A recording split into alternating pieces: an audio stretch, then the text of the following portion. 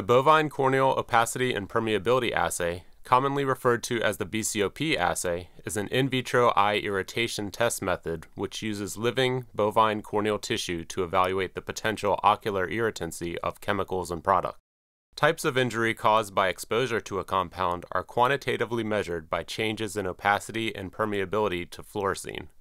In this video, we will walk through the tests step by step as described by the Organization for Economic Cooperation and Development Test Guideline number 437. The bovine eyes used in this assay are enucleated, collected, and prepared for transport at the abattoir. Once isolated, the eyes are immediately transferred to a container where they are fully immersed in cooled Hanks balanced salt solution, known as HBSS, on ice. The eyes are used as soon after isolation as possible, typically on the same day.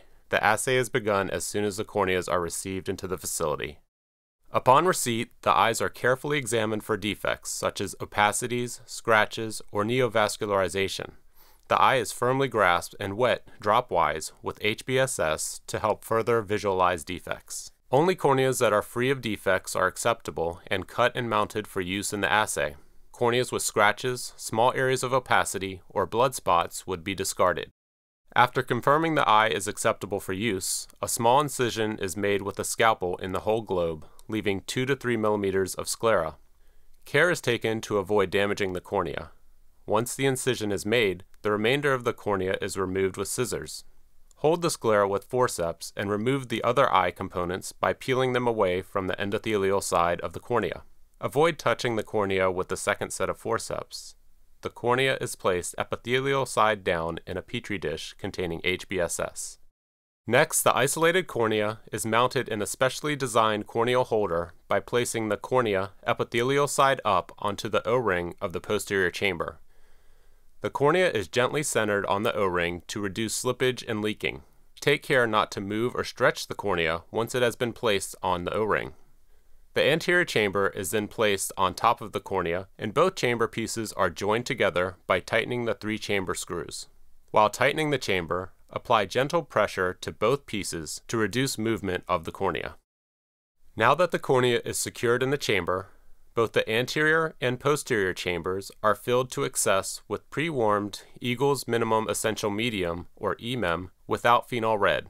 The posterior chamber is filled first to ensure that the cornea keeps its normal curvature. The same steps are performed while filling the anterior chamber. Once both sides of the chamber are filled, the chamber holes will be plugged and the chambers are incubated at 32 degrees Celsius for at least one hour. Prior to use, the opacitometer is calibrated to ensure proper performance. It is calibrated with a series of calibrator chips, mimicking varying degrees of opacity. Following the one hour incubation, the media is removed from both sides of the chambers, starting with the anterior chamber first, using a blunt tip syringe. Both sides of the chamber will again be refilled with fresh, pre warmed EMEM without phenol red in a similar fashion as the initial media addition. Once the chambers are filled, a baseline opacity reading will be taken on each cornea. Any cornea that has an opacity score of greater than 7 opacity units or is observed to have macroscopic tissue damage will be excluded from use in the assay. This step serves as one of the quality control checks of the assay. Corneas that meet the assay acceptance criteria are assigned to a treatment group. Each treatment group consists of at least three corneas. The treatment groups will be dosed with either a test article, positive, or negative control. The assay controls are treated concurrently with the test articles in this assay. The positive control chemical for each assay depends on whether it is a liquid or a solid protocol being performed. For liquid protocols, the suggested positive control is 100% ethanol. For the solid protocol, the positive control that is used is 20% imidazole. Now that the corneas have been assigned to a treatment group, the corneas are prepared for dosing. Since the dosing is different for liquid and solid test substances, both will be illustrated in this video. Before dosing for either liquids or solids, the media is removed from the anterior chamber, similar to the initial refeed step, and the chamber re-aspirated to remove any remaining medium. It is important to remove as much media as possible from the anterior chamber in order to reduce further dilution of the test article. Now that the chambers are prepared, Lindsay will demonstrate how to dose a liquid test article. Liquid test articles can be tested undiluted or for surfactants at a concentration of 10% in a solvent. When dosing most liquid test substances, the closed chamber method will be used. Some liquid test materials may be viscous, semi-solids, creams, or waxes. In this case, they will be applied using a positive displacement pipette by the open chamber method, which Nathan will demonstrate during solid dosing. First, the chambers are tilted up, as shown, to avoid contact between the test chemical and the cornea, which could extend the exposure time beyond the appropriate interval. Lindsay is adding 750 microliters of the test chemical to each chamber through the holes in the top of the chamber. The holes in the chamber are sealed with the plugs. Once all corneas are dosed, the chambers are flipped into a horizontal position simultaneously to cover the corneas with the test article at the same time. The corneas are then placed back in the incubator and exposed to the liquid test material for 10 minutes. When dosing non-surfactant based solids, they are typically tested as solutions or suspensions at 20% in either sodium chloride, distilled water, or another solvent. Solids are typically tested by direct application with a positive displacement pipette onto the corneal surface. This process is commonly referred to as open chamber dosing. After the media was removed from the anterior chamber, as mentioned earlier, the chamber holes are plugged and the chamber will be horizontally oriented for open chamber dosing. In the first step in open chamber dosing, Nathan removes the window locking ring and the glass window from the anterior chamber. 750 microliters of the test material are applied to the epithelial surface of the cornea. The test article is applied in a circular motion to ensure that the entire corneal surface is covered. The chamber can also be gently tapped to aid in spreading the test substance thoroughly. For dilutions that are not homogeneous suspensions, a positive displacement pipette tip can be cut and used for dosing to get the best sample.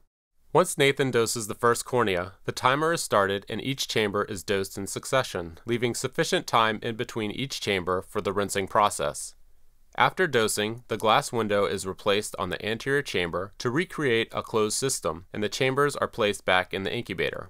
Corneas are exposed to the solid test articles for 4 hours. After the incubation period, either 10 minutes for liquids or 4 hours for solids, the chambers are removed from the incubator. Approximately 1 minute prior to rinsing solids, the windows are removed. After completion of the 4-hour exposure time, each cornea is rinsed successively based on the intervals at which they were dosed. Nathan is using a syringe to add fresh EMEM with phenol red to the inside wall of the anterior chamber, creating a vortex and dumping the medium into a designated waste receptacle. Special care is taken not to spray the cornea directly with the medium. This process is repeated until most of the test material is removed. Then the anterior chamber is filled with EMEM containing phenol red before moving on to the next cornea. If residual test article still remains, a gentle stream of medium can be sprayed onto the cornea already containing media, or a cotton tip applicator can be used to aid in removing residual test article. Once each cornea is completely rinsed, the glass window and window locking ring is replaced. Particularly viscous liquids may be rinsed using this open chamber method as well. The rest of the rinsing continues following the closed chamber method. From this point forward, the rinsing process is the same for the liquids and viscous liquids and solids. Lindsay will demonstrate how to rinse using the closed chamber method. First, flip the chambers to a vertical position and remove the test article for liquids or the medium for solids from the anterior chamber through the holes at the top of the chamber. 2 to 3 milliliters of media containing phenol red are added through the holes to all the chambers. The chambers are inverted and the media is removed. This process is repeated at least three times. If the phenol red containing media is observed to be discolored, yellow, or purple, or if test substance is still visible, the corneas are washed until the media remains red and all test material has been removed from the cornea. Once the media is free of test material, a final rinse with EMEM without phenol red is performed to ensure the phenol red media is removed from the chamber. After rinsing is finished, the anterior chamber is refilled with fresh EMEM without phenol red and plugged. Corneas originally dosed with liquids are placed back in the incubator for an additional 2 hours at 32 degrees Celsius. Corneas treated with solids do not require a post-exposure incubation time. At the end of the post-exposure incubation step for liquid test articles, and directly after rinsing for solid test articles, the final opacity reading is taken for all corneas. Each cornea is observed visually, and notes on the appearance of the cornea are recorded, such as tissue peeling, residual test article, or small areas of defined opacity. The observations are important as they can be used to support opacity measurements. Once all opacity readings have been taken, the media is removed from both sides of the chamber and only the posterior chamber will be refilled with fresh EMEM without phenol red. The anterior chamber is aspirated and 1 milliliter of sodium fluorescein solution is added through the chamber holes and plugged.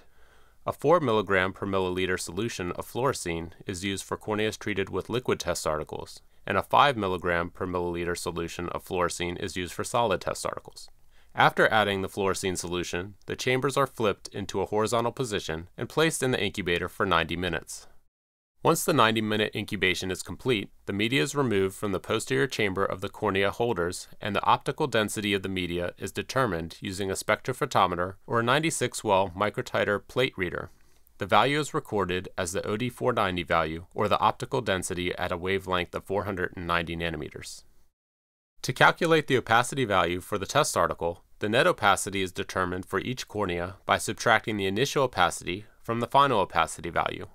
Then, the net opacity is corrected by subtracting the mean negative control net opacity, and the average corrected net opacity of each treatment group is calculated. For the permeability value calculation, the OD490 values are corrected by the mean negative control OD490, and the average corrected OD490 for each treatment group is calculated. Once the opacity and permeability values are determined, they are entered into an empirically derived formula to calculate an in vitro irritancy score for each treatment group. The opacity and permeability values can also be evaluated independently to gain additional insight on the irritancy of the test article. The in vitro irritancy scores may then be used to identify test chemicals that may induce serious eye damage, GHS Category 1, and chemicals that do not require classification for eye irritation, GHS No Category, according to the table. Laboratories initially establishing this test method for use in their facility should consult Annex 3 of the OECD test guideline for a list of proficiency chemicals. These chemicals can be used to demonstrate technical competence in the BCOP assay prior to submitting BCOP test method data for regulatory hazard classification purposes.